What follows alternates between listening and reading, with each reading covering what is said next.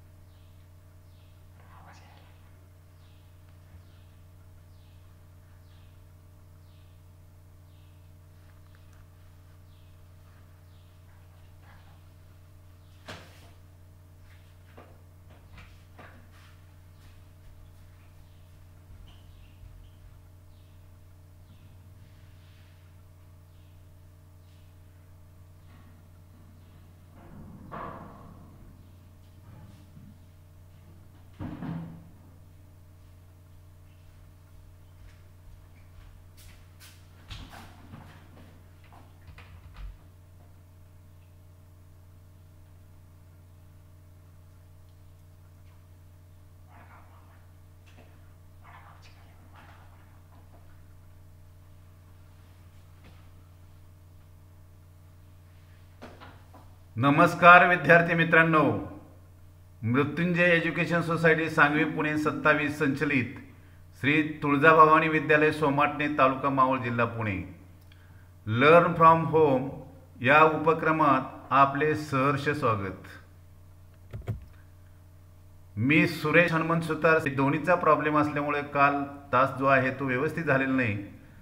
तर तोच तास आज आपण या ठिकाणी व्यवस्थित पाहणार आहोत.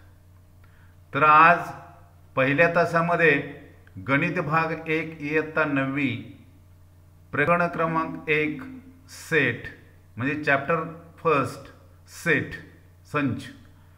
यामध्ये आपण टाईप्स ऑफ सेट्स त्यालाच मराठीमध्ये संचाचे प्रकार हा मुद्दा या ठिकाणी अभ्यासणार आहोत.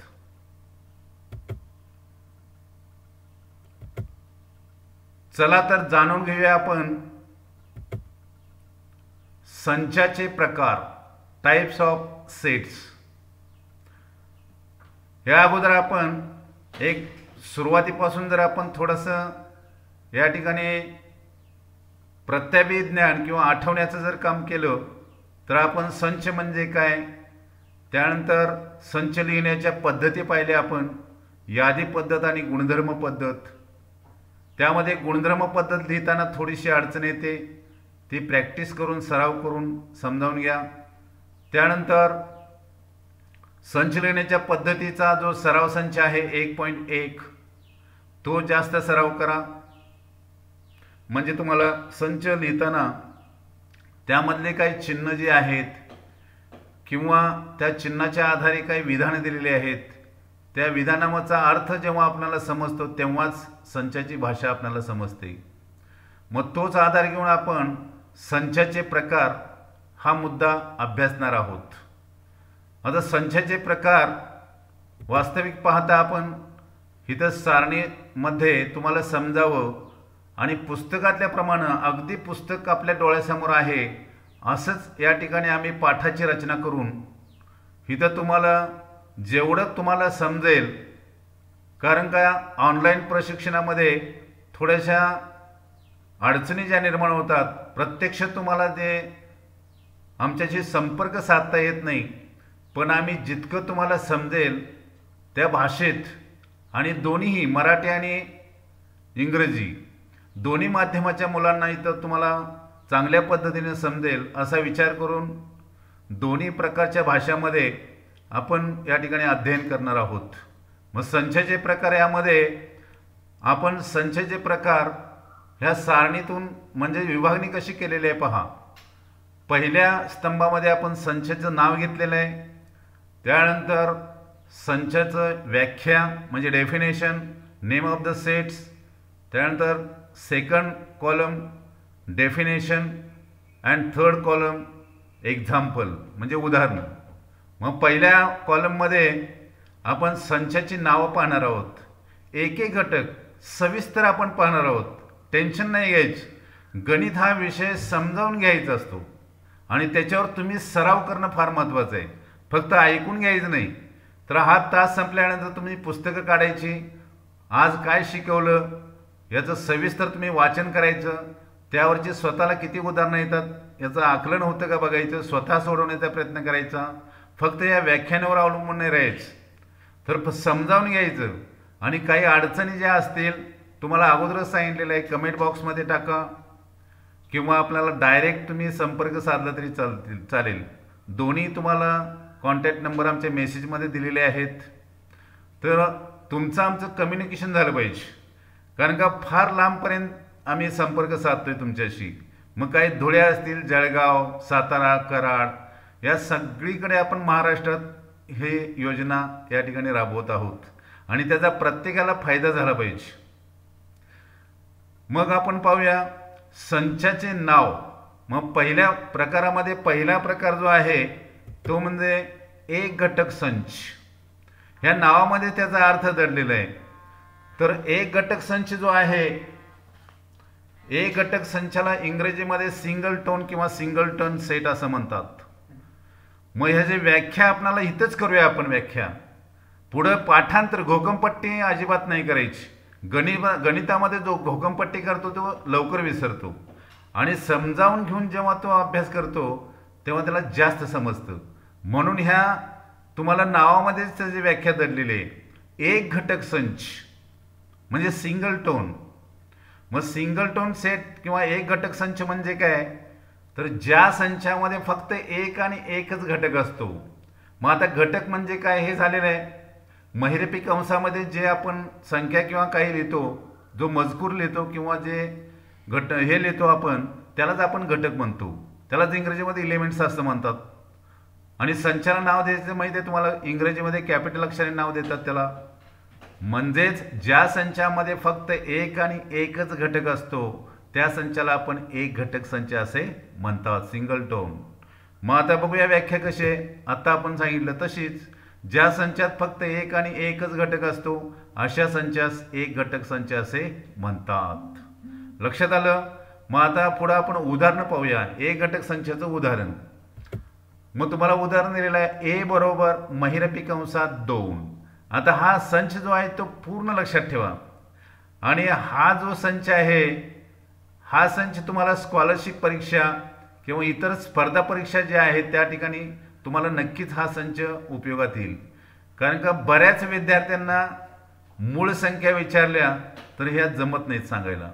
मग मूळ संख्या पहिलीच सांग म्हटल्यानंतर एकच सांगणार. मग असं डोक्यात बसलेलं असतं त्यांना विषम संख्या म्हणजे मूळ संख्या.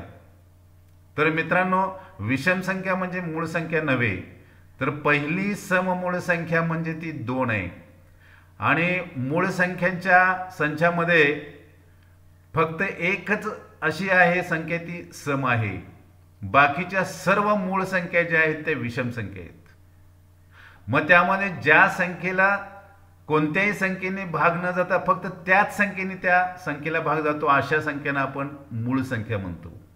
म्हणून या ठिकाणी एक घटक संचामध्ये समजा तुम्हाला वर्णनात्मक संच जर येत असेल तुम्हाला ए हा सम मूळ संख्यांचा संच असं जर लिहायला सांगितलं तर हमखास विद्यार्थी चुकणार?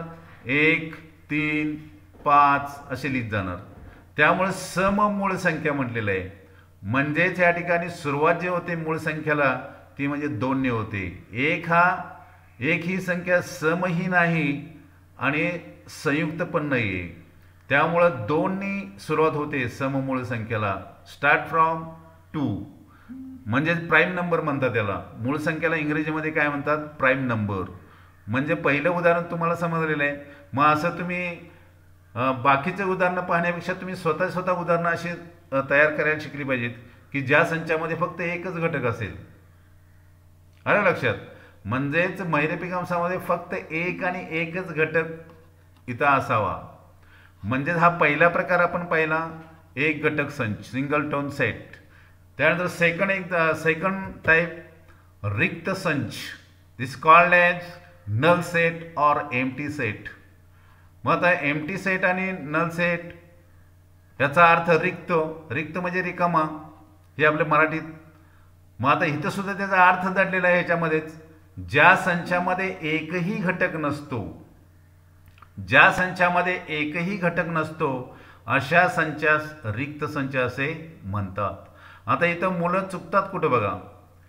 तर असे काही विद्यार्थी असतात की सर मैरेपिक कंसामध्ये शून्य ठेवला तर चालेल का? मग शून्य म्हणजे तो घटक आहे. म्हणजे तो रिक्त संच होऊ शकत नाही. म्हणजे पूर्ण रिकामा फक्त महिरपिक अंश असले पाहिजेत. त्या महिरपिक अंशामध्ये एकही डॉट सुद्धा म्हणजे टिंब म्हणतो आपण कॉमन असतो असले सुद्धा घटक असता कामा नाही तरच त्याला आपण रिक्त संच म्हणू शकतो. म्हणजे डेफिनेशन काय होईल? ज्या संचात दिलेल्या गुणधर्माचा एकही घटक नसतो म्हणजे त्यामध्ये कुठलाही गुणधर्माचा घटक नसतो त्यास आपण रिक्त संच असे म्हणतात. आणि हा संच कोणत्या चिन्हाने दर्शवतात पहा. दोन्हीकडे मैरपिक अंशमध्ये एकही घटक लिहायचा नाही किंवा त्याला शून्य काढायचा आणि वर रेष द्यायची त्याला फाय असं म्हणतात. हे चिन्ह दर्शवतात. इथं चिन्ह दिसतं पहा. तुम्हाला हे चिन्ह आहे. झिरो लिहायचा छोटा आणि त्याच्यावर रेष मारायची. आणि त्यालाच आपण याला फाय असं श हे नाव आहे. मग या चिन्हाने दर्शवतात. म्हणजे फाय बरोबर मैरपिक कंस रिकामा. असं लिहिलं तरी चालतं. म्हणजेच ह्या ठिकाणी रिक्त संच त्यालाच इंग्रजीमध्ये नल सेट असं म्हणतात. इंग्रजीमध्ये दुसरं नाव आहे त्याला ऑर एम टी सेट. त्यानंतर आपण त्याचं एक्झाम्पल पाहूया. एक्झाम्पलमध्ये दिलेलं आहे तुम्हाला B is equal to in मैरिपी कंसात एक्स रेग एक्स ही दोन व तीन यामधील नैसर्गिक संख्या आहे. मग आता ती म्हणून मग बी बरोबर मैरेपी कंस रिकामा दाखवलेला आहे. म्हणजे एम टी सेट का दाखवलेला आहे किंवा फाय मग आता दोन आणि तीन. बऱ्याच विद्यार्थ्यांना गोंधळ होतो. दोन आणि तीनच्या मध्ये अपूर्णांक संख्या असतील. दोन पॉईंट दोन दोन पॉईंट तीन दोन पॉईंट पाच दोन पॉईंट चार. पण त्या घ्यायच्या नाहीत. कारण का इथं दिलेलं आहे तुम्हाला नैसर्गिक संख्या दिलेल्या आहेत मग नैसर्गिक संख्या म्हणजे सुरुवात कितीने होते? एकनी. एक दोन तीन चार पाच सहा अशा अनंत. मग त्यामधल्या नैसर्गिक संख्या घेतलेल्या आहेत दोन आणि तीन. याच्यामध्ये एकही संख्या नसते नैसर्गिक संख्येच्या संचामध्ये. त्यामुळं या दोन आणि तीनमध्ये एकही संख्या न नसते. म्हणून बी हा संच जो आहे तो एम टी सेट किंवा त्याला आपण रिक्त संच असे म्हणतात. हा दुसरा प्रकार पाहिला आपण रिक्त संच. आता त्यानंतर आपण तिसरा प्रकार पाहूया शांत संच. त्यालाच इंग्रजीमध्ये फायनाईट सेट्स असं म्हणतात. मग शांत शांत ह्याचा अर्थ काय? मोजता येणे. बघा किती सोपं आहे. म्हणजे ते शब्दानुसार जायचं आहे आपल्याला. मोजता येणे म्हणजे फायनाईट सेट मोजता येणे म्हणजे एखाद्या आठवड्याचे वार तुम्हाला मोजता येतात? म्हणजे तो सं आठवड्यातील वारांचा संच हा कसला झाला? सात संच. त्यानंतर एक ते दहापर्यंतच्या मूळ संख्यांचा संच. हा सुद्धा आपल्याला मोजता येतो. म्हणजे तो शांत संच झाला. म्हणजेच ज्या इथे काय व्याख्या येईल? जो संच रिक्त आहे म्हणजे रिक्त संच सुद्धा शांत संचामध्ये आहे बरं का? आपण उ- उपसंच किंवा पूरक संच पुढे पाहणार आहोत. त्याचं हे वाक्य लक्षात ठेवा हे जो स- संच रिक्त आहे किंवा ज्या संचातील घटकांची संख्या मर्यादित असते म्हणजे मोठे वाचता किंवा मोजता न येणारी अशी नाही मोजता येणारी असते व मोजता येते त्याला शांत संच असे म्हणतात. हे पहिलं वाक्य लक्षात ठेवा. तर पहिल्या वाक्याचा अर्थ तुम्हाला माहीत पाहिजे हा. हे जर जमलिंग नाही करायचं गोंधळ नाही करायचा जो संच रिक्त आहे म्हणजेच रिक्त आहे याचा अर्थ काय तर समजा एखाद्या संचामध्ये एक ते दहापर्यंत संख्या आहे त्या सगळ्या काढून टाकल्या तर काय असेल? रिक्त संच. म्हणजेच या ठिकाणी शांत संचामध्ये रिक्त संच येऊ शकतो. मग आता त्याचं एक्झाम्पल पाहूया आपण. एक्झाम्पलमध्ये दिलेलं आहे पहा. सी बरोबर मैरेपिक पिकांसात पी रेश पी ही एक ते बावीस मधील चारने विभाज्य संख्या आहे. म्हणजे एक ते बावीस पर्यंतच्या अशा संख्या बघायच्या की त्याला चारने भाग गेला पाहिजे. म्हणजे चाराचा पाडच मग समजा. मग पहिले चार एकी चार चार दोन्ही आठ चार तिकडे बारा चार सोळा चार पंचे वीस. म्हणजे ज्या ठिकाणी वीसपर्यंत का थांबलो? मग पुढं का गेलो नाही? कारण का तुम्हाला अट दिलेली आहे तिथं. अट काय दिलेली आहे? तर एक ते बावीसपर्यंत तुम्हाला मर्यादा दिलेली आहे. म्हणजे ज्या ठिकाणी आपल्याला हा संच मोजता येतो किंवा यातील घटक आपल्याला मोजता येतात आणि मर्यादित घटक आहेत. म्हणून हा संच जो आहे तो शांत संच आहे. त्यालाच इंग्रजीमध्ये कॉलेज फायनाईट सेट त्यानंतर fourth types of set is called as infinite set म्हणजे त्याला मराठीमध्ये अनंत संच असं म्हणतात. त्याचा अनंत आहे बघा. म्हणजे अनंत याचा अर्थ अमर्याद. म्हणजे आपल्याला मोजता न येत येणं इतक्या म्हणजेच आपल्याला एखाद्या गोष्टीचं अंत नसतो. भरपूर प्रमाणात त्या गोष्टी आपल्याला मोजता येत नाहीत. समजा मी म्हटलं या पृथ्वीच्या पृष्ठभागावरील सर्व किती झाडे आहेत ते मोजा. असं जर आपण म्हटलं तर ते अनंत झाडे असतील. काही काही वेळा आपल्याला मोजता न येणाऱ्या संख्या आहेत त्या. म्हणजेच या ठिकाणी एखाद्या संचातील आपल्याला घटकांची संख्या अमर्याद असते किंवा मोजता येत नाही. त्याला अनंत संच असे म्हणतात. त्याला इंग्रजीमध्ये infinite set is called as infinite set and that example example आपण काय घेऊया? Natural set natural set is called as infinite set then whole set त्यानंतर integer set this the types of set is called as infinite set मग या ठिकाणी हे अमर्याद आहेत. म्हणजेच त्या संचातील घटकांची संख्या आपण मोजू शकत नाही. म्हणजे आपण किती प्रकारचे संच पाहिले सांगा? एक घटक संच रिक्त संच शांत संच अनंत संच त्यालाच इंग्रजीमध्ये आपण first type is called as singleton set second type null set or empty set and third is finite set and fourth is infinite set लक्षात आलं? तर हे चार प्रकार आपण या ठिकाणी पाहिलेले आहे आता पुढे चला आपण पुढे बघूया आता पुढे आपण पाहणार आहोत पुढील संच यादी पद्धतीने लिहून त्यांचे शांत संच व अनंत संच असे वर्गीकरण करा. आता जे आपण चार प्रकार शिकलेलो आहोत त्याचं आपण मूल्यमापन किंवा आपल्याला किती येतं किंवा त्या पद्धतीचं उदाहरण दुसरी जर दिली तुम्हाला उदाहरणं तर त्या ती उदाहरणं आपल्याला सोडवता येतात का? याचं मूल्यमापन या ठिकाणी आपण करणार आहोत. त्यासाठी तुम्हाला पहिलं उदाहरण दिलेलं आहे ए बरोबर महिरपी कंसात एक्स रेग एक्स हा यनचा घटक आहे म्हणजे x is belong to natural set म्हणजे एक्स हा कुणामधून घेतलेला आहे? नैसर्गिक संख्याच्या संचामधून. म्हणजेच त्याची किंमत काय असेल? विचार करा विद्यार्थ्यांनो. तर त्याचे एक्स किमती असतील one two three four infinite म्हणजेच एक दोन तीन चार पाच सहा सात अशा अनंत संख्या असतील.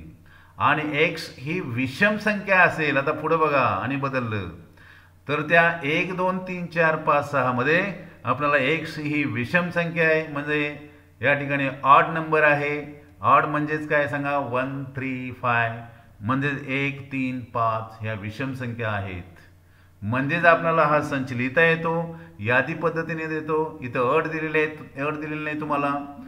कुठून कुठंपर्यंत अशी अट दिलेली नाही अट अजिबात दिलेली नाही. म्हणून या ठिकाणी आपल्याला लक्षात येतं की आपल्याला सुरुवातीला आपण तो संच यादी पद्धतीने मांडूया लिस्टिंग मेथड आपण मांडूया या ठिकाणी.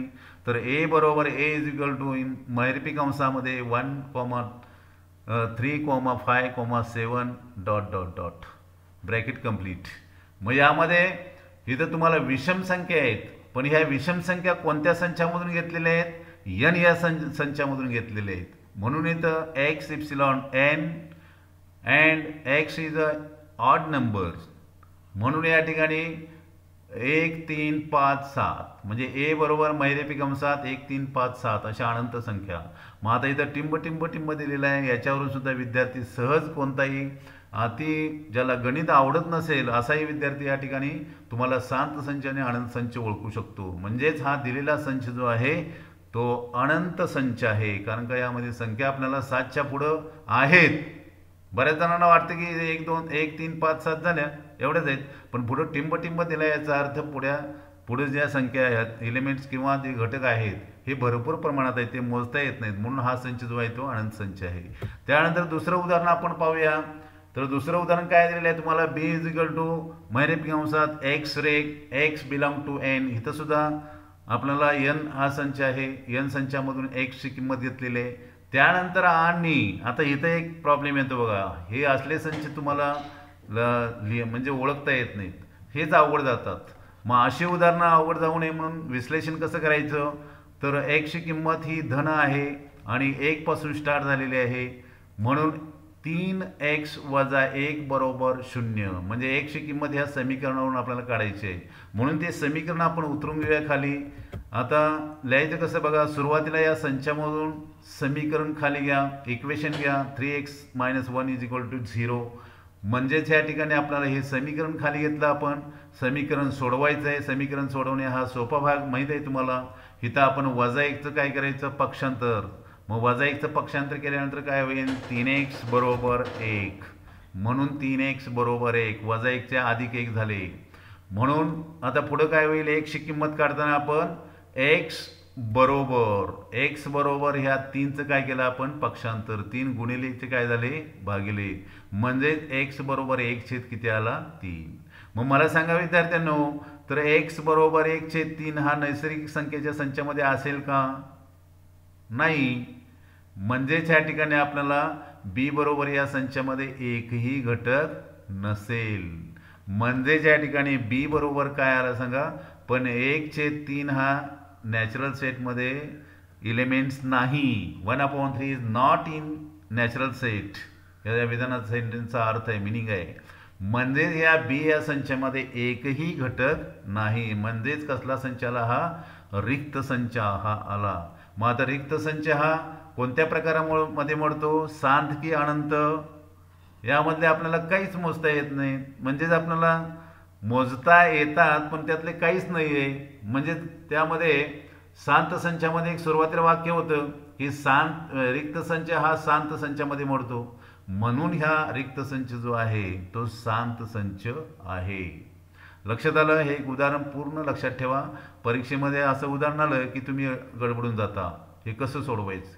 म्हणून कोणत्या बरोबर जी इथं उदाहरण सोडवून देतो आणि लेक्चर चालू असताना तुमच्याकडे वही पेन पुस्तक हे सर्व काही असावं.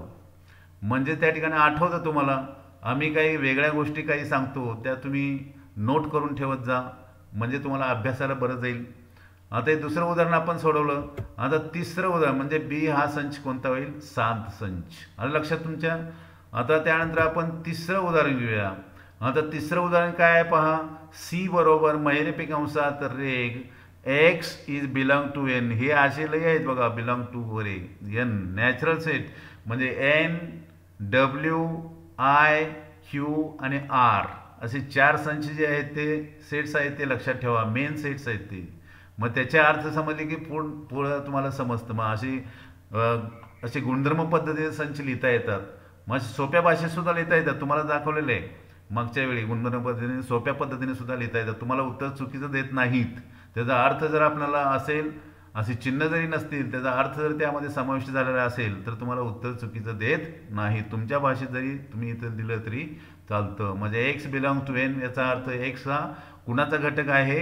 नैसर्गिक संख्याचा घटक आहे. आणि एक्स ही सातने विभाज्य असणाऱ्या संख्या. आता सातने भाग जाणाऱ्या संख्या किती असतील अशा? लक्षात आलं का? म्हणजे सातने विभाजित कसोटी तुम्हाला पुढे हे दिलेलं नाही अट दिलेलं नाही किती कुठे कुठंपर्यंत? तुम्हाला असं म्हटलेलं आहे का? की एक ते वीसपर्यंतच्या दरम्यान असणाऱ्या सातने विभाज्य असणाऱ्या संख्या. असं नाही दिलं. तर इथं अटच दिलं नाही. त्यामुळं सातने भाग जाणाऱ्या अशा अनंत संख्या असतील. ह्याच्यावरून तुम्हाला समजतं. हा संच जर आपण यादी पद्धतीने लिहिला सी बरोबर मैरेपी कंसात सात पहिल्यापासून पहिली संख्येची सातने भागणारी म्हणजे सात. सात एके सात सात दोन्ही चौदा सात त्रिक एकवीस अशा अनंत संख्या मिळतील तुम्हाला. म्हणजे हा सुद्धा संच कोणता झाला सांगा? अनंत संच झाला. त्यानंतर आपण पुढलं उदाहरण चौथं पाहूया. तर डी बरोबर इथं लक्ष द्या. अशी उदाहरणं जे आहेत ते विद्यार्थ्यांना बऱ्याच ठिकाणी आवड जातात. म्हणून याचे अर्थ लक्षात आले पाहिजेत. डी बरोबर महिरपी कंसात.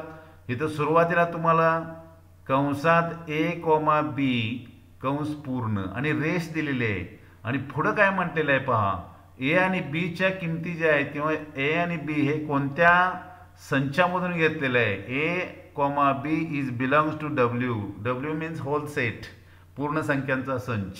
मग पूर्ण संख्यांचा संच कुठून स्टार्ट होतो? शून्यापासून. मग शून्य एक दोन तीन अशा संख्या असतील. हे असे घटक जर ज्या संचामध्ये असतील त्याला पूर्ण संच असे म्हणतात. म्हणजेच म्हणजे एची किंमत शून्य असू शकते एक असू शकते दोन तीन चार बीची सुद्धा शून्य एक दोन तीन चार अशा संख्या अशा किमती असू शकतात.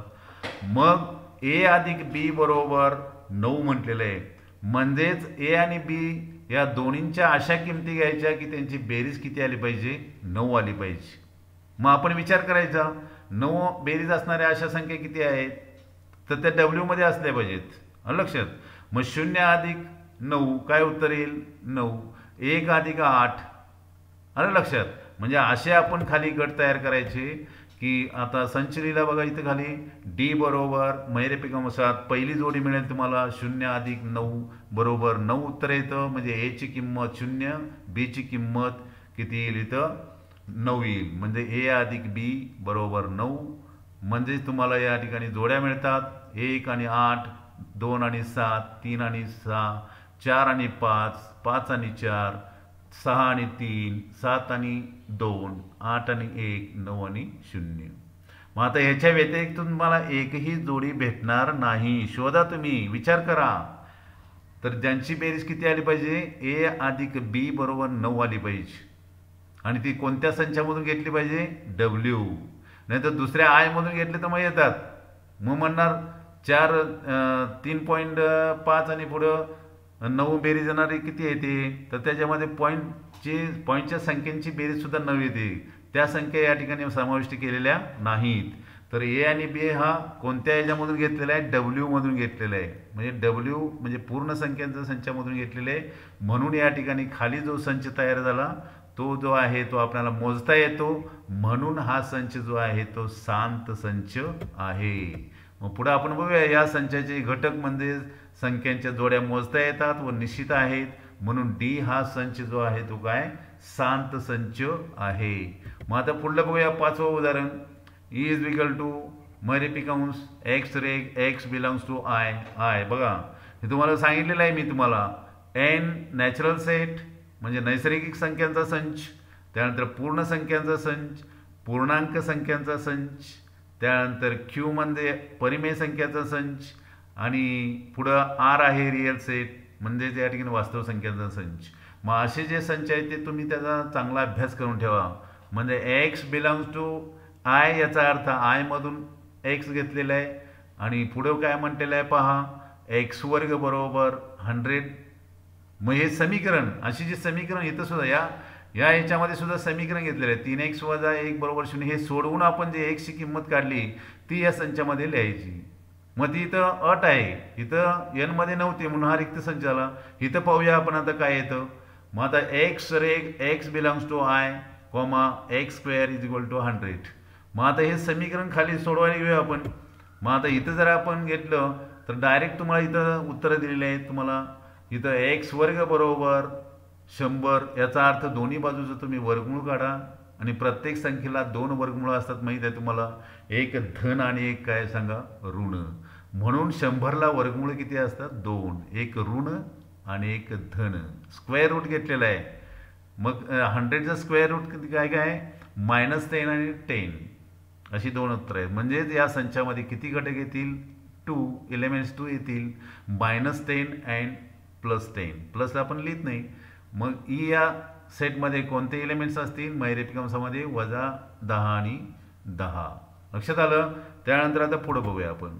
हा संच कसला संच झाला? ई हा सात संच कारण का मोजता येतात घटक आपल्याला. त्यानंतर सहावं उदाहरण जे आहे ते आता आपण हे जे इक्विवलंट उदाहरण आहे म्हणजे चौथं उदाहरण आणि सहावं उदाहरण जे आहे ते जरा थोडंसं अभ्यास करा त्याचा. हे पहिलं समजलं असेल तर ते सहावं समजतं म्हणजे चौथं उदाहरण. चौथं उदाहरण आणि सहावं उदाहरण हे लक्षात घ्या. मग एफ बरोबर मैरपी कंसात ए कॉमा बी त्यानंतर रेश ए आणि बी कोणत्या संचामधून घेतलेले आहे? क्यू म्हणजे परिमेय संख्यांचा संच. त्यानंतर ए अधिक बी बरोबर अकरा. मग आता परिमेय संख्येचा संच म्हणजे त्यामध्ये अपूर्णांक संख्या येऊ शकतात दशांश अपूर्णांक संख्या येऊ शकतात. मग अकरा अकरा बेरी जाणाऱ्या अशा भरपूर संख्या येतात. इथं जर आपण क्यूच्या ठिकाणी जर एन आणि डब्ल्यू असता या क्यू या ऐवजी जर एन आणि डब्ल्यू असता तर तुम्हाला इथं लिमिटेड म्हणजेच अमर्या मर्यादित संख्या आल्या असत्या पण इथं क्यू आलेलं आहे. क्यूमध्ये भरपूर अशा संख्या असतात. त्यामुळं अकरा बेरीज अशा भरपूर संख्या आपल्याला मिळतात. म्हणून या ठिकाणी समजा तू संच जर यादी पद्धतीने लिहिला तर आपल्याला इथं खाली एलिमेंट्स कसे मिळतात पहा. सहा आणि पाच अकरा होऊ शकतात. तीन आणि आठ अकरा होऊ शकतात. त्यानंतर तीन पॉईंट पाच अधिक पाच सात पॉईंट पाच यांची बेरीजसुद्धा किती येऊ शकते? अकरा. त्यानंतर ऋणसुद्धा. म्हणजेच ऋण पंधरा क अधिक सव्वीस म्हणजे इथं वजाबाकी होते. म्हणजे सव्वीसमधून पंधरा गेली राहिले किती? अकरा. अशा अनंत संख्या आपण जोड्या आपण शोधू शकतो. म्हणून हा दिलेला संच जो आहे तो शांत संच नसून काय आहे सांगा? अनंत संच आहे. इन्फिनाईट सेट अशा असंख्य जोड्या मिळतात. म्हणून यफ हा संच जो आहे तो काय? अनंत संच आहे. F is called as infinite set आलं लक्षात? तर या ठिकाणी आत्ताच मग पुढं आपण थोडंसं जाणून घेऊया. समान संच. ह्याच्या अगोदर आपण सांत संच पाहिलं. आता समान संच म्हणजे काय? त्याला इंग्रजीमध्ये आपण इक्वल सेट्स असं म्हणतो. आता इक्वल सेट्स म्हणजेच संच ए मध मधील प्रत्येक घटक संच बी मध्ये आणि बी या संचातील प्रत्येक घटक हा संच ए मध्ये असेल. तर ए आणि बी हे दोन संच जे आहेत ते समान संच होऊ शकतात. म्हणजेच याला समान संच म्हणजे इक्वल सेट्स इलेमेंट्स जर इक्वल असतील in each sets elements are equal they is called as equal sets म्हणजे ए मधले घटक बी मध्ये असतील आणि बी मधले घटक प्रत्येक घटक ए मध्ये जर असेल तर त्या दोन संचाला आपण काय म्हणू शकतो? समान संच. मग समान संच लिहिण्याचं चिन्ह ए आणि बी हे समान संच म्हणून या ठिकाणी वारंवार ही सूचना देतोय तुम्हाला. तर इथं एल प्रत्येक गट प्रत्येक एलिमेंट्स हा एका वन टाइम्स घ्यायचा आणि इथं या प्रत्येक ह्या शब्दातील प्रत्येक अक्षर या ठिकाणी घेतलेलं आहे. मग दुसरं उदाहरण घेऊया. आता ह्या ए दिला आता बी आता बी बी काय सांग दिलेलं आहे तुम्हाला? बी बरोबर वाय रेश वाय हे सायलेंट या शब्दातील अक्षर आहे. मग आता हा संच आपण यादी पद्धतीने लिहा. मग आता S I L E N T. मग आता दोन्हीमध्ये आपण पडताळा घेऊ. ए संचामधले घटक बी संचामध्ये आहेत का? यल आहे का? याच्यामध्ये आहे. आय आहे का? आहे. यस आहे का? आहे. टी आहे का? आहे. ई आहे का? आहे. यन आहे. पहा प्रत्येक घटक म्हणजे एमधले सर्व घटक कशामध्ये आहेत? बीमध्ये आहेत.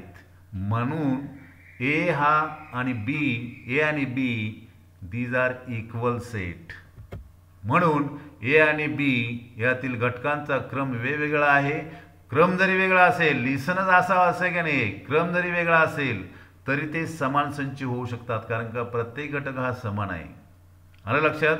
आता दुसरं एक उदाहरण बघूया आपण. म्हणून ए बरोबर बी इक्वल सेट आता दुसरं म्हणजे पुस्तकातलं मी तिसरं उदाहरण घेतलेलं आहे. म्हणून या ठिकाणी ए ब- जर ए बरोबर मैरिपी कंसात एक दोन तीन आणि बी बरोबर मैरिपी कंसात एक दोन तीन चार तर हे संच समान होऊ शकतील का सांगा? याचा पडताळा घेऊया आपण.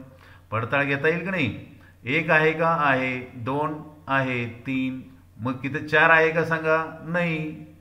असा झाला पडताळा म्हणून ए बरोबर A is equal to not B म्हणजे इक्वल अनइक्वल सेट आहेत ते. म्हणजे ए बरोबर बी हे इक्वल सेट नाही. मग चौथं उदाहरण सुद्धा तसंच आहे. तर ए बरोबर मैरपी कंसात एक्स रे एक्स ही मूळ संख्या आहे व ती कितीपासून कितीपर्यंत? म्हणजे दहापेक्षा मोठी आणि वीसपेक्षा लहान. मूळ संख्या मात्र लक्षात ठेवा. ह्या प्रकरणामध्ये मूळ संख्येवर बरीच उदाहरणं येतात. मूळ संख्या हे तुम्हाला आयुष्यभर जोपर्यंत तुम्ही शिकाल तोपर्यंत मूळ संख्या ही तुमच्या पाठीमागे लागलेली आहे. गणित ज्याला पुढं गणित घ्यायचं आहे त्यानं. मग हे एक्सची किंमत काय येईल बघा? दहापेक्षा मोठी मूळ संख्या अकरा. अकराला कोणत्या संख्येने भाग जातो का? नाही. तेरा सतरा एकोणीस. मग वीसच्या आत म्हटलेलं आहे. म्हणून अकरा तेरा सतरा असे हे हा संच होईल. त्यानंतर बी आता ए बरोबर. एचं जर आपण रूपांतर केलं यादी पद्धतीमध्ये मग ह्याच संख्या मिळतात आपणाला पहिली मिळेल अकरा दुसरी मिळेल तेरा तिसरी मिळेल सतरा आणि चौथी मिळेल एकोणीस. म्हणजे हा संच आणि हा संच हा समान संच असू शकतो कारण का दोन्हीमध्ये घटक काय आहेत सांगा? समान आहेत. म्हणून ए येथे ए बरोबर काय? येईल बी याचा पडताळा आपण आत्ताच घेतलेला आहे. मग तुम्ही कसा घ्यायचा? वहीवर? बघा. जमेल का घरी? तर दहा ते वीसच्या दरम्यान असणाऱ्या तुम्हाला मूळ संख्या काढायच्या त्या इतक्या येतात का? बघा.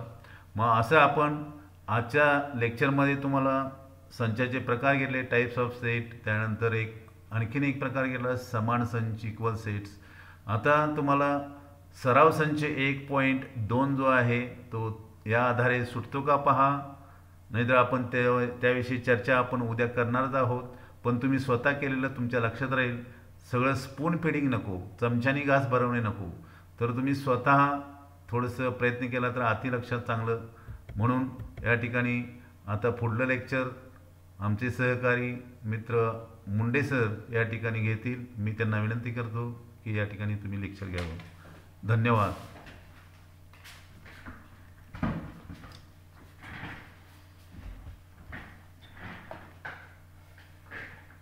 वेलकम स्टुडंट बऱ्याच जणांचे कमेंट्स फार येत आहेत जरा. तर कमेंट्स बंद करता येत नाहीत आम्हाला पण तुम्ही जरा कमेंट्स टाकू नका. आणि ज्यांना वाटतं की आपण लेक्चर ऐकायला येतोय त्यांनी कमेंट्स टाकायचे असतील तर अभ्यासाबद्दलचे टाका. किंवा नसेल झालं तर पुढं होईल. मग union set of point A and point B and points between A and B is called segment A B segment A B means segment B A आपण ते कसंही लिहू शकतो. से रेषाखंड ए बी लिहिलं काय आणि रेषाखंड बी ए लिहिलं काय. तर ते रेषाखंड न लिहिता आपण रेख लिहितो. Point A and point B are called the end points of the segment A B म्हणजे पॉईंट ए आणि बी त्या रेषाखंडाचे अंत्यबिंदू असतात. म्हणजे शेवटचे दोन टोकाचे बिंदू असतात.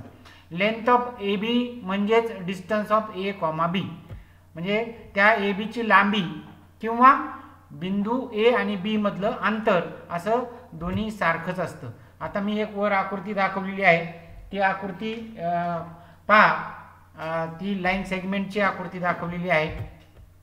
Length of A B equal to five is also written as A B equal to five म्हणजे त्या रेषाखंडाची लांबी ही पाच असेल तर आपण सरा सरासरी असं लिहितो की ए बी बरोबर पाच. म्हणून आता पुढं रे ए बी म्हणजे किरण A B suppose A and B are two distinct points the union set of all points on segment A B and the points P such that A dash P B dash P is called ray A B. आपल्याला आकृती पण दिसते तिथं. दरम्यानता betweenness. ए आणि पीच्या between बी दाखवला आहे तिथं. म्हणजे सेगमेंट ए बी आणि त्याच्या पलीकडचे जे पॉईंट्स आहेत ते असे सगळे मिळून त्याला call ray A B.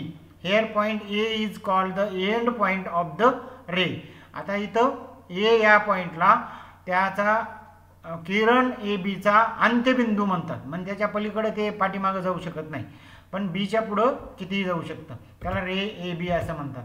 आता line A B the union set of points on ray A B and opposite ray of ray A B is called line A B the set of points of segment A B is a subset of points of line A B म्हणजे आता नीट पहा. हे वाक्य जे आहे ते आता मी रे A बी काढलं आहे मग ह्या रे ए बी आणि रे बी ए त्याचा अपोजिट रे जो आहे तो. किंवा एपासून सुरू होणारा असा अपोजिट रे. अशा सगळ्यांचं एकत्रीकरण. म्हणजे त्याला म्हणायचं line A B the set of points of segment A B is a subset मग सेगमेंट ए बी म्हणजे ए बी हा उपसंच आहे. कोणाचा? रेषा ए बीचा कॉंग्रुएंट सेगमेंट्स म्हणजे एकरूप रेषाखंड. If the length of two segments is equal then the two segments are congruent जर दोन रेषाखंडांची लांबी जर समान असेल तर ते दोन रेषाखंड एकरूप असतात. इथं उदाहरण दिले if length of A B equal to length of C D then segment A B is congruent segment C D म्हणजे इथं दोन ए बी आणि सी डी या दोन रेषाखंडांची लांबी जर समान आहे तर segment A B is congruent segment C D म्हणजे ए बी रेषाखंड आणि सी डी रेषाखंड हे एकरूप आहेत. Properties of congruent segments reflexivity segment A B is congruent to segment A B म्हणजे स्वतःशीच तो ए बी हा स्वतःशी ए बीशी एकरूप असतो. Symmetry if segment A B is congruent segment C D then segment C D is also congruent to A B म्हणजे एक हा दुसऱ्यासोबत एकरूप असेल तर दुसरा हा पहिल्यासोबत एकरूप असतो. तिसरं आहे transitivity if segment A B is congruent to segment CD and segment CD is congruent to segment EF then segment AB and segment EF is also congruent.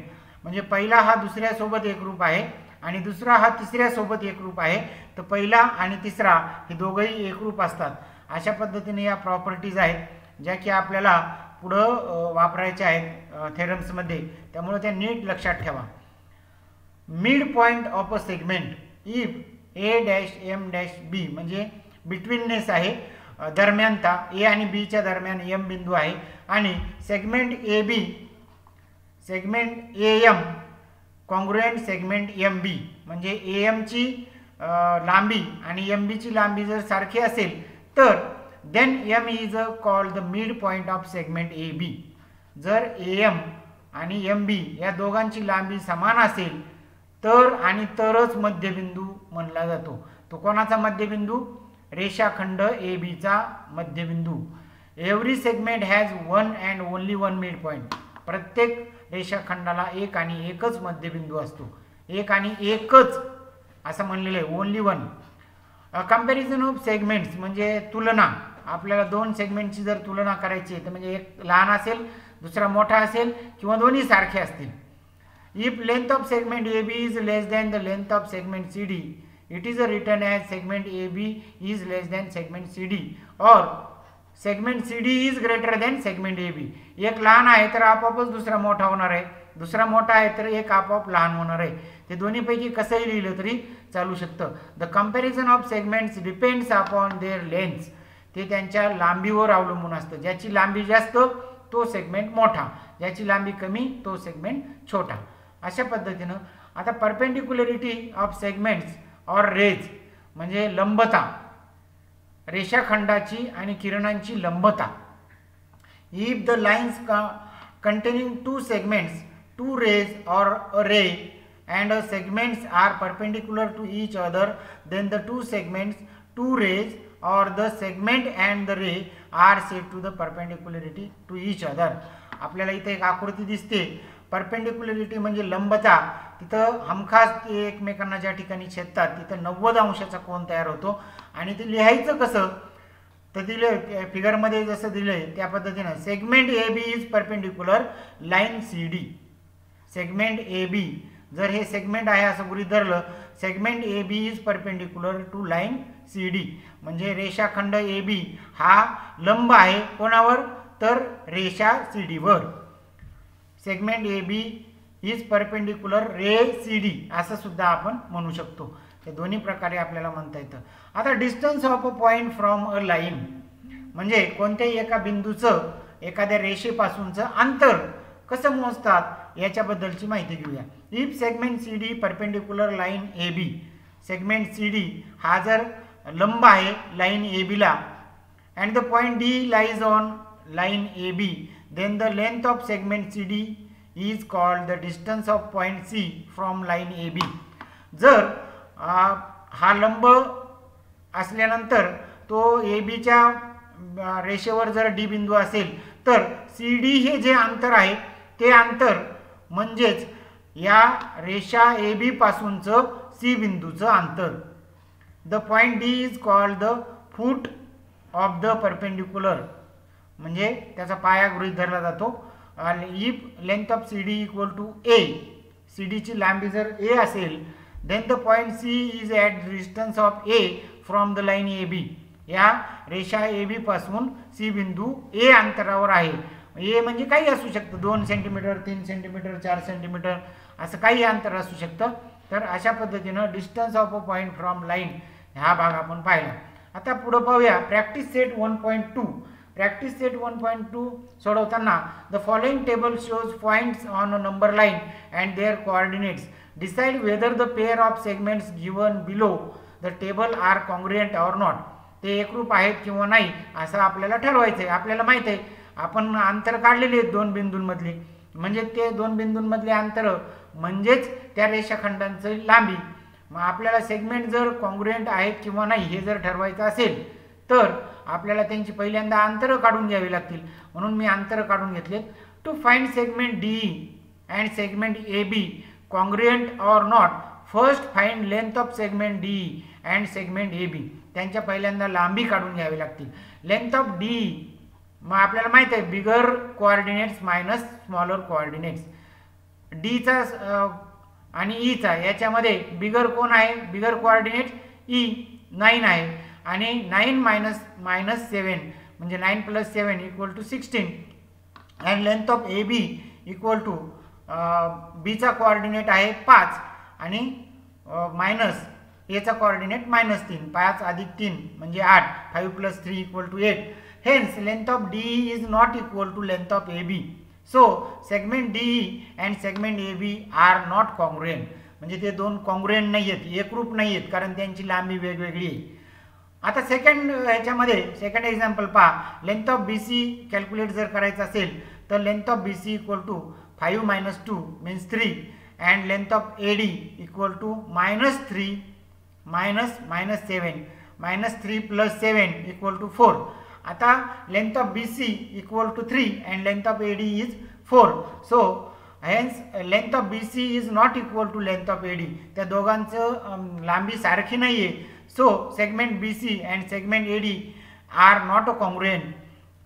Length of B, third example, length of B equal to minus 9, 9 minus 5 means 4 and length of AD equal to minus 3 minus minus 7. Minus 3 is a larger coordinate than minus 7 so minus 3 plus 7 equal to 4 hence length of to equal to length of ad so segment and and segment ad are congruent. म्हणजे ते लिहायचं कसं? Segment B is congruent segment A D म्हणजे आपल्याला जर segment त्यांची congruent आहेत किंवा नाही हे जर ठरवायचं असेल तर ते ठरवण्यासाठी आपल्याला पहिल्यांदा त्यांची लेंथ लांबी काढावी लागते. आणि लांबी कशी काढायची ही मागच्या ह्याच्यात पाहिलेली आहे. आता पुढचं point M is a midpoint point of segment A B if A B equal to eight then of the length of A M याच्यासाठी आपण गणित सोडवताना नेहमी लक्षात ठेवायचं की आपण आकृती काढायची पहिल्यांदा. भूमितीमध्ये इमॅजिनेशन पॉवर भरपूर पाहिजे. की इमॅजिन करायचं की ए बीची लांबी अंदाजे इतकी असेल आणि मिड पॉईंट एम कुठं असेल. मग आपण त्याची जर आकृती काढली तर तुम्हाला लगेच लक्षात येईल. If M is a mid point then आपल्याला माहीत आहे मिड पॉईंट एम जर असेल तर segment A M congruent segment M B त्यांची लांबी सारखी असते. Length of A M equal to length of M B and A dash M dash B betweenness सुद्धा असतं. आणि मग बिटवीटनेस जर असेल तर आपल्याला माहीत आहे length of A M plus length of M B equal to length of A B A M आणि एम बी यांच्या अंतरांची जर मी बेरीज केली तर ते ए बी इतकं असतं. But here length of A M equal to length of M B म्हणजे याच्यामध्ये ए एम आणि एम बीची लांबी सारखी आहे. मग ए एमच्या जागेवर एम बी लिहिलं काय? आणि एम बीच्या जागेवर ए एम लिहिलं काय? काही फरक पडत नाही. मी एम बीच्या जागेवर ए एम लिहिलं. आणि A M plus A M म्हणजे two A M length of A M म्हणून two into length of A M equal to length of A B आता ए बीची लांबी आपल्याला माहीत आहे. ती आठ आहे. म्हणून length of A M equal to eight divided by two means four therefore length of A M equal to four आपल्याला माहिती आहे मिड पॉईंट आहे. म्हणजे आठच्या निम्म नक्की असणार. म्हणून एमची लांबी जर चार असेल तर एम बीची लांबीसुद्धा चारच असते. अशा पद्धतीनं हे एक आपण उदाहरण पाहिलं. अजून एक उदाहरण पाहूया. Point P is the mid point of segment C D if C P equal to two point five then find length of C D इथं सुद्धा आपल्याला इमॅजिनेशन पॉवरने आपली एक छोटीशी आकृती काढून घ्यायची. C D is a end point and P is a mid point then if P is a mid point then length of C P equal to length of P D and C P D So length of CP plus length of PD equal to length of CD but length of CP equal to length of PD mid point आहे त्यामुळे ह्या दोघांची लांबी सारखी असेल. आणि त्या दोघांच्या जागेवर मी सी पी लिहिलं तरी चालू शकेल. सी पीच का लिहिलं? कारण सी पीची लांबी दिलेली आहे म्हणून. पी डी पण घेऊ शकता. आणि सी पी आणि पी डी सारखंच आहे. म्हणजे सी पी जर टू पॉईंट फाईव्ह असेल तर पी डीसुद्धा टू पॉईंट फाईव्हच येणार आहे. तसं लिहिलं तरी चालू शकतं. म्हणून two into length of C P equal to length of C D means length of C D equal to two CD equal to 2 into 2.5 means 5.0 मग आपण ते पाच लिहिलं तरी चालू शकतं. म्हणजे therefore length of C D equal to five write the answer to the following questions with reference to figure आता एक फिगर दिलेली आहे आणि त्याच्यावरून आपल्याला अँसर्स लिहायचे write the name of opposite ray of ray R P मग ray R P म्हणल्यावर आर हा त्याचा एंड पॉईंट असणार आहे. मग त्याच्यापासूनच सुरू झालेला एक किरण आपल्याला घ्यावा लागेल जो की आणि अपोजिट डायरेक्शनला तर म्हणून R S is first ray which is opposite ray for R P मी आता तुम्हाला आकृतीत सुद्धा दाखवला आहे की आर एस तो टी बिंदू कट करून दाखवला आहे और रे आर टी जो की आपण एस बिंदू जर कर कट केला तर एंड पॉईंट याच्यात एंड पॉईंट महत्त्वाचं आहे. अपोजिट रेमध्ये रे आर पीमध्ये आर हा एंड पॉईंट आहे. आणि रे आर एसमध्ये इथं सुद्धा आर हा एंड पॉईंट आहे. मग त्या एंड पॉईंटपासूनच आपल्याला रेची सुरुवात करावी लागते. आणि मग पुढं फक्त डायरेक्शन चेंज करायची opposite direction write the intersection set of ray P Q and ray R P आता इंटरसेक्शन म्हणजे काय? तर छेदसंच. बहुतेक छेदसंच झालेलं नाही आहे ते झाल्यानंतर तुमच्या लक्षात येईल. पण मी इथं दिलं आहे तुम्हाला त्याच्यात काय आहे? रे पी क्यू काढला रे आर पी काढला. आणि इंटरसेक्शन्स मीन्स कॉमन पार्ट म्हणजे त्यामधला जो कॉमन आहे तो भाग आपल्याला फक्त घ्यायचा आहे. मग याच्यात कॉमन काय आहे? तर याच्यात कॉमन आहे रे पी क्यू. म्हणून answer of this intersection set of ray P Q and ray R P. Answer of this question is ray P Q. मग पहा नीट पहा तुम्ही पहिल्यांदा पी क्यू रे काढला दुसऱ्यांदा R Q R P ray काढला. मग त्याच्यात कॉमन भाग पी क्यू रे आहे. म्हणून त्याचं उत्तर ray P Q write the answer of the following questions with reference to figure त्याच्यातलेच काही पुढचे प्रश्न. Write the union set of ray P Q and ray Q R आता युनियन म्हणजे काय? सगळेच्या सगळे घटक. त्याला म्हणायचं युनियन इंटरसेक्शनमध्ये आपण जे कॉमन पार्ट घेतला इथं सगळे सगळे घ्यायचे. म्हणून रे पी क्यू मी काढलेला आहे. रे क्यू आर सुद्धा काढलेला आहे. Union set means all part मग याचं उत्तर येणार आहे line R Q or line Q R जी मी आता इथं तुम्हाला फिगर काढून दाखवले. ह्या सगळ्यांचं युनियन म्हणजे एकत्रीकरण केलं तर आपल्याला ते लाईन आर क्यू किंवा लाईन क्यू आर असं म्हणता येतं. State the ray of which segment Q R is a subset आता सेगमेंट क्यू आर हा उपसंच असला पाहिजे कोणत्या रेचा उपसंच आहे असा प्रश्न विचारला त्यांनी. मग मी सेगमेंट आर क्यू काढला किंवा क्यू आर काढला. Ray Q R or ray R Q or line R Q असे वेगवेगळे उदाहरणं त्याचे मिळू शकतात. त्याची मी वेगवेगळ्या आकृत्या काढून दाखवते. रे क्यू आर हा काढला तर हा त्याचा सबसेट आहे. सेगमेंट क्यू आर नीट पा हा मी उचलून इथं ठेवला तर बरोबर बसतो. म्हणजे सबसेट आहे. त्याच्या सबसेटमध्ये त्याचा भाग आहे. या क्यू आरचा आर क्यू हा एक भाग आहे. तसेच रे आर क्यूचा सुद्धा सेगमेंट आर क्यू हा भाग आहे. आणि लाईन आर क्यू याचा सुद्धा सेगमेंट आर क्यू हा भाग आहे. म्हणून त्याला सबसेट म्हणतात. सबसेट याचा अर्थ उपसंच. तुम्हाला लगेच लक्षात येईल पुढच्या याच्यामध्ये. Write the pairs of opposite ray with common end point R आता ऑपोजिट रे आणि त्याचा कॉमन एंड पॉईंट आर असला पाहिजे. तर त्याचे उत्तर येणार आहे रे आर क्यू आणि रे आर टी म्हणजे दोन डायरे अपोजिट डायरेक्शन पाहिजे अपोजिट रे पाहिजे. पण एंड पॉईंट कॉमन कॉमन पाहिजे. तो म्हणजे आर हा एंड पॉईंट कॉमन आहे. Write any two rays with common end point yes ते प्रश्न सारखेच आहेत. डबल डबल झालेले आहेत.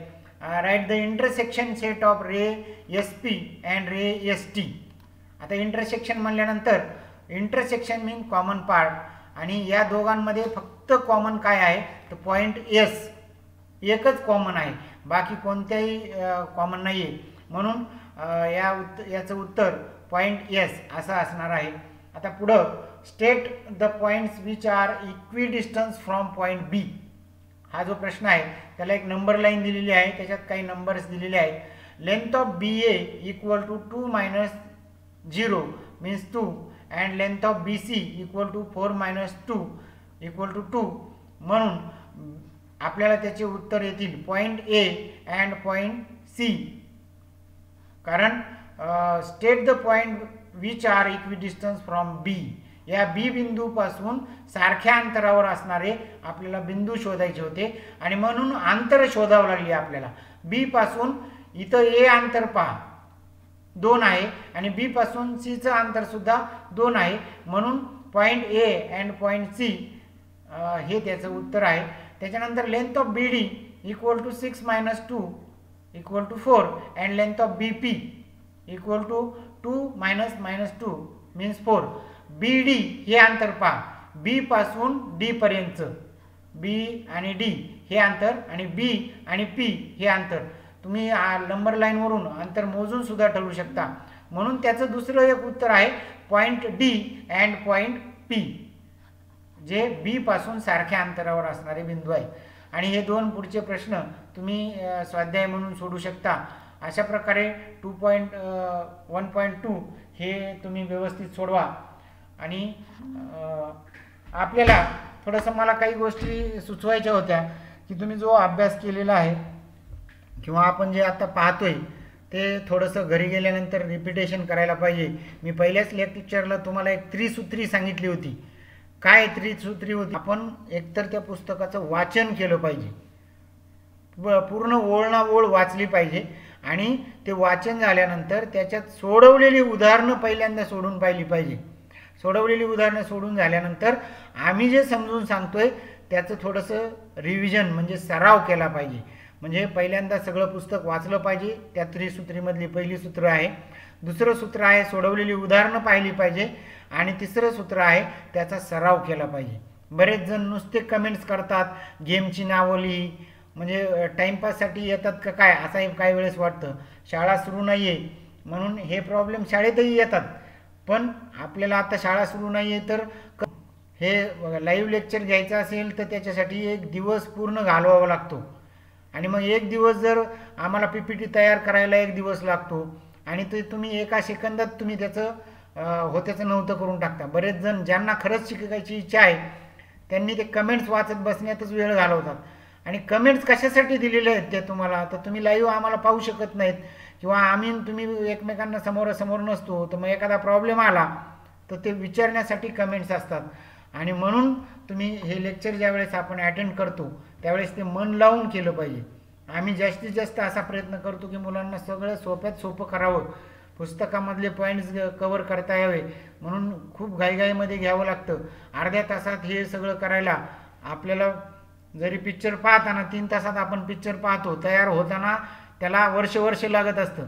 तसं हे लेक्चर तुम्ही अर्ध्या तासात जरी ऐकत असाल तरी हे तयार करायला आम्हाला एक दिवस वेळ लागतो. त्यामुळं थोडीशी काळजी घ्या.